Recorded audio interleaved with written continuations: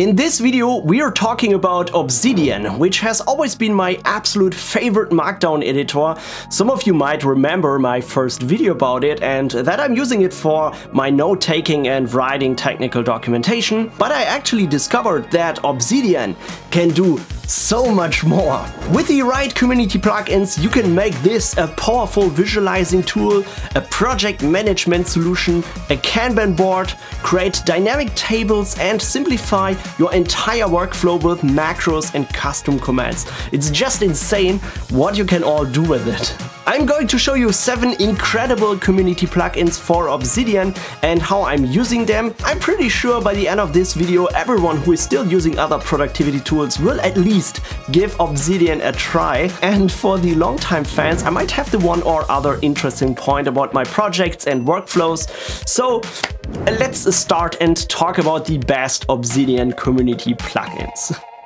This video is supported by Teleport, a free and open source access proxy that helps you to securely authenticate to all your IT infrastructure like Linux servers, databases, Kubernetes clusters, web applications or remote desktop. You can easily protect your accounts with modern security features such as two-factor authentication or a passwordless login and access your services through the browser or the CLI tool with audit logging and session recording. And the best, it's completely free in the community version so you can just download and run it in your entire home lab. Or if you'd like to use it in your company, Teleport offers many professional features like auditing, single sign-on and more. It's a great tool, so just check it out. You will find a link to their website in the description of this video. Okay, so to get started with plugins in Obsidian, you need to open the settings menu. Here you will find all the important stuff under community plugins. First, turn off the restricted mode and then you can just click on browse to scroll through all the existing projects, get some more information about them. And of course, you can also search for specific ones. To make it easy for you, I'll put the names of all the plugins I'm showing you here in the description of this video so that you can easily find and install them. When you're using plugins in Obsidian, always remember these plugins are all made by the community and they are not part of the official Obsidian code. Hence, they can have bugs from time to time. And what you should also keep in mind is that every community plugin, even if it is frequently updated at this time, it might not be maintained forever, because mostly these are small projects made by one or a few people, so just be a little cautious using them. A good indicator to find active and maintained plugins is always to check what was the last time this plugin was updated, how many downloads it has, and also you should take a look at the project on GitHub. Sometimes the creators put some details in the about section about their efforts, but that's not always the case for sure. That being said, let's now jump right into it and start with the first plugin that I want to show you, and this is called Icon Folder, which is not a really spectacular plugin, you would say, but it is absolutely one of my favorites. Because with Icon Folder, you could give the boring file explorer in Obsidian a more customized look by adding icons to it. When you have installed the plugin, you can just do a right click on a folder or on a node and then click on change the icon. Then you can select whatever icon you want it's pretty simple. I really like this because I'm using the File Explorer a lot to navigate through my notes in Obsidian, maybe more than I should, but it really helps me to quickly find everything that I want. As you can see, I've built myself this folder hierarchy where I sort all of my Markdown files like everything I need for my projects, my notes, my Git repos, the work stuff, and YouTube videos as well. Every folder has a recognizable icon, so this helps to quickly jump into the right section and I also think it looks pretty neat.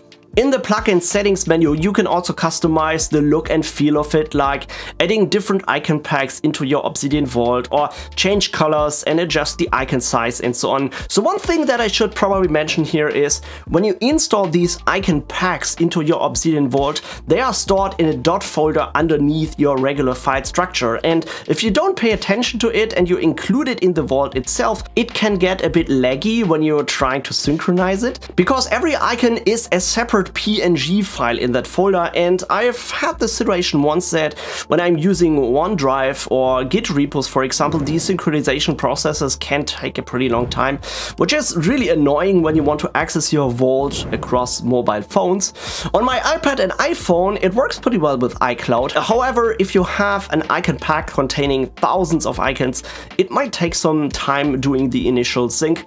If you're just working on your PC or Mac and you don't synchronize your vaults, it shouldn't be an issue, but yeah, that is something you should definitely keep in mind. But apart from this, Icon Folder is just a great plugin that gives your Obsidian Vault a nicer and more custom look. Next, I want to show you another customization plugin which is called Commander. With that you can add any commands in Obsidian as a separate button somewhere in the UI. You can put these into different places like in the ribbon menu, the tab bar, the status bar and so on. And you can create all sorts of these commands. You can give it a custom icon, a different color, and create your own styled menus. As you can see in the ribbon menu of Obsidian, for example, I've hidden all the boring default buttons of Obsidian and created my own custom list of ribbon commands with a more stylish look. What's also really cool, you can even create macros with this plugin that will execute multiple commands at once, even on startup of the program and with a delay. To be honest, I haven't really figured out how to integrate these macros into my workflow yet. I'm still experimenting with that. But what's really nice about Commander is that this doesn't just work with the regular commands you have in Obsidian, it can also be used with any other command that your plugins will add to Obsidian. So anything that you can type in the Obsidian CLI can be added as part of a macro or as a separate button. And that makes Commander, in my opinion, very powerful because you can really make the most out of any other community plugin with automating it in a Commander button. So I'm going to show you that in a combination with the next plugin. And this is called Quick Add. With Quick Add you can just as the name suggests, quickly add new nodes into your vault. To be fair, it can also do a couple of other things which I haven't really figured out yet, because I'm only using this for adding new nodes with templates to specific folders. That's, in my opinion, the most useful feature. For example, I've created a quick add function that will start a new video project for me. So when I execute this quick add, it automatically creates a new markdown file in the YouTube video folder with a specific template that I can directly start working with. But let's build a new quick add together so I can show you a couple of things. I'm going to add a new quick add template in here that is called test node. So this should create a new markdown file with a specific template somewhere. And to specify these settings, we need to click on that small gear icon. And here we can now select the template that we want this node to be created with. For example, let's just add the template that I'm using for creating my YouTube video documentation. Uh, you can also define if you want this node to be created with a specific file name and a format, maybe with the current date, but I don't want to do that now because I like to always enter a new file name when I'm executing this quick add, so I will just leave this empty. Instead, I like this node to be created inside a specific folder. So I'm going to pick the testing folder in here that's easier for a quick demonstration. But of course, you can use this to create nodes to any other folder in your vault. And let's also directly open this file, so maybe in a vertical split so we can start working on this project right away. Okay, so far so good. So now we have our quick add function and when we now go back to our main editing view, we can just execute it by typing in the command run quick add and then just select the test node one that we have just created. You can see this opens a prompt to enter a file name just like we wanted. And when we just enter a new file name in here and execute it, you can see this created our new file in our testing folder and also with the desired template. So that's already pretty useful to speed up your entire workflow in Obsidian. But uh, wait, it gets even a bit better. because uh, like I said, you can also use these quick add commands in combination with commanders. To do that, you just need to click on this small lightning icon icon here to make this quick add a separate command in Obsidian.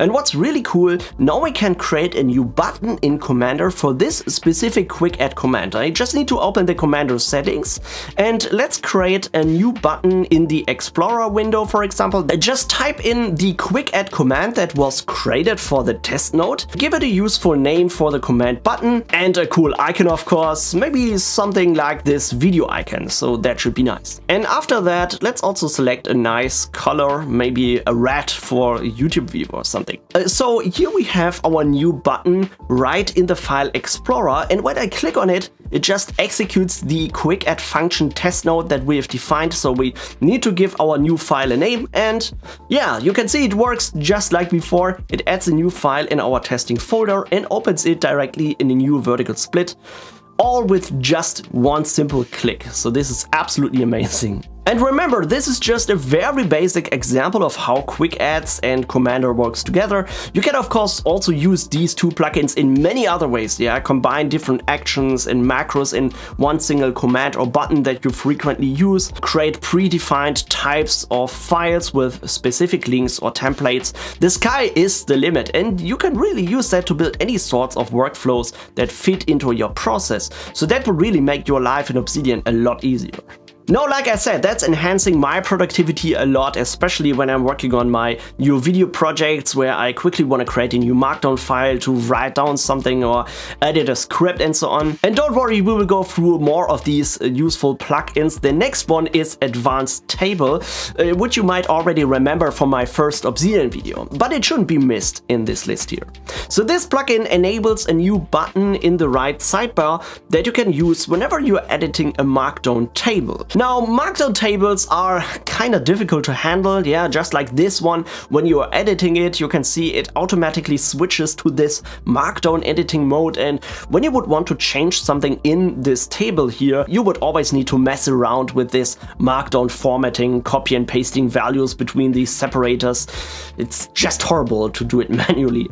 Advanced tables helps you a bit with this, like you can use it to move rows and columns around or add new entries in between other items. That's very useful when you want to add a column inside a big table, for example. Remember, when you would need to do that manually, you would have to add this new column to every single row of the table. That's what Advanced Table does automatically for you, so you just need to jump right into the rows and fill in the data. And you can even use it to automatically sort rows in a table. So it's a small little plugin that's helping a lot with Markdown tables.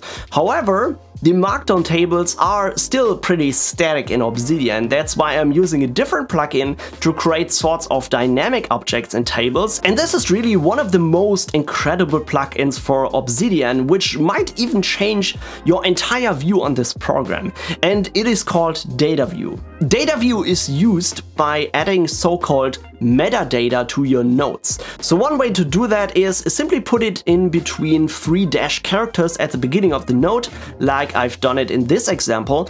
And this basically is just a list of key value pairs where you can define relevant information about this node. And what's special about this metadata is that it is indexed and can be queried by the DataView plugin in other nodes. It is extremely powerful, you can see it a bit like a database, but without having a backend or a database file somewhere that you would need to connect to, it's all stored and indexed from the metadata, which is just plain text in your markdown files. Just a quick example because it's really difficult to explain otherwise. So here we have a node containing the write-up for one of my YouTube video projects, yeah? And this first section here is the metadata section where I've added a couple of fields containing relevant information for this project. For instance, I've added a status to it, a thumbnail, an SEO score, a publish date, a sponsor, a title, and so on. And just like this, I have created similar notes for all the other videos that I'm working on. Basically, you can add any relevant metadata to any of your Markdown files in the vault. You can just put text fields in here, you can put dates in here. There are many other types of key value pairs that you can create. And once you have done that, you can use data view in another node to query your entire vault and create a list or a table of these nodes. For example, let's create a table with all the published YouTube videos that I've made and documented in my vault with this metadata. To do that, I'll just need to start a new code block, just like you would define some YAML or shell script in here, and you just need to add the data view language to this block And then you can use the DataView query language that's pretty similar to SQL statements. So this will be very familiar to all the database pros here. and we will start first with the type of the object that we want to create. This will be a table. And now we can display different fields of the metadata. For example, let's display the video title, the SEO score, the publish date and the status. Next, I also want to select which type of nodes this list should contain, because if you have many different nodes in your vault with all sorts of different metadata, you can filter it a bit based on the folder location or based on tags. And to do that, you just need to add a from statement. So I want to select the YouTube videos folder. And because this would display all the YouTube videos, I want to further filter it based on the metadata section. For instance, let's only display the nodes that have a status set to archive. This is what I enter in the metadata section of all my published videos, for example. And uh, we should maybe also sort this table by date, so I think that makes the most sense.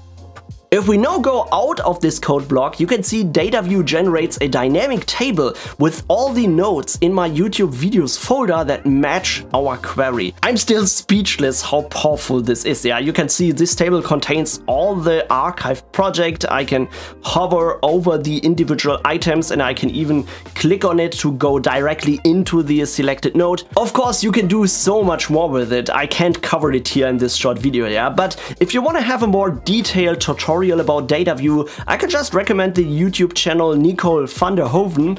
Hope I pronounced this correctly, I'm sorry if not. But she's doing so many great videos about Obsidian, like detailed videos about DataView and also some other cool Obsidian plugins. So just go to her channel, subscribe and leave a comment that I've sent you there. There's really some good stuff on it.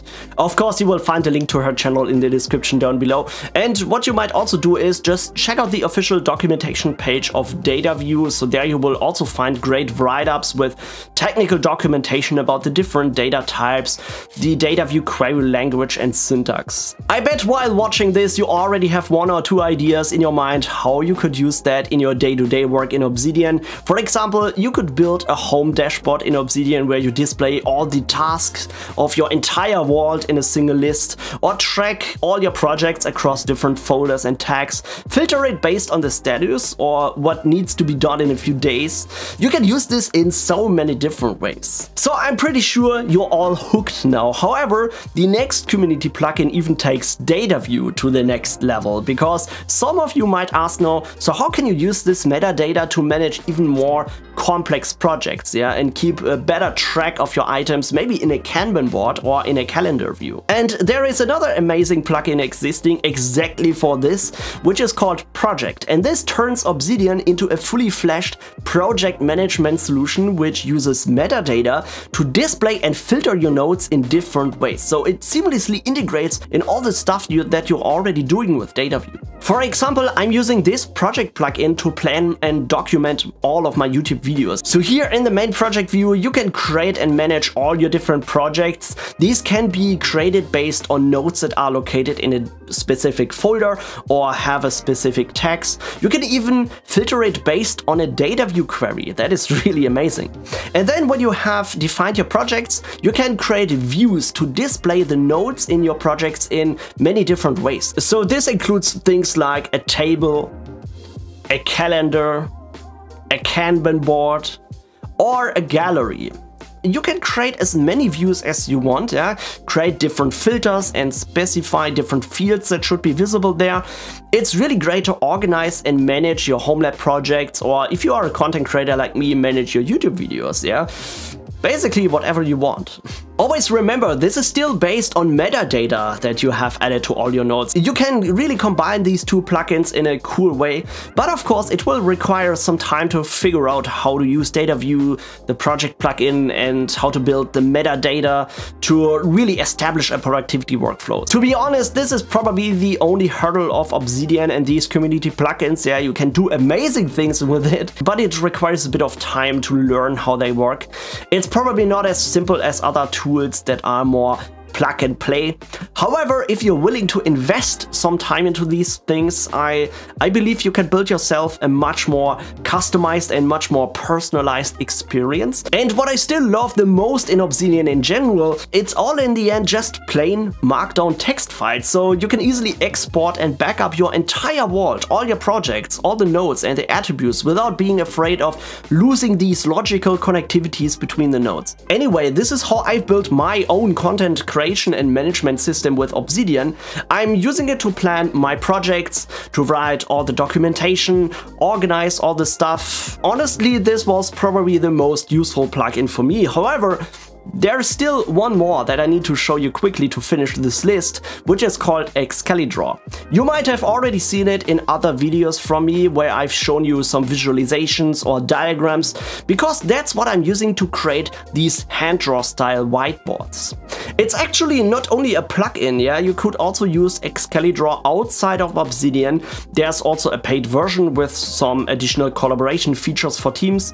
But this is such a great visualization tool that is natively integrated in your Obsidian Vault, so you can link these Excalidraw files to other nodes. And this really changed my entire process of creating visualizations, yeah. Before I was always using my iPad with the Apple Pencil to draw some visualizations myself, but I actually found out that I'm much much, much faster with just using Excalidraw. Because even when this looks like a quick handwritten document or visualization, all of these things in here are separate objects. So that means you can easily change and move them around.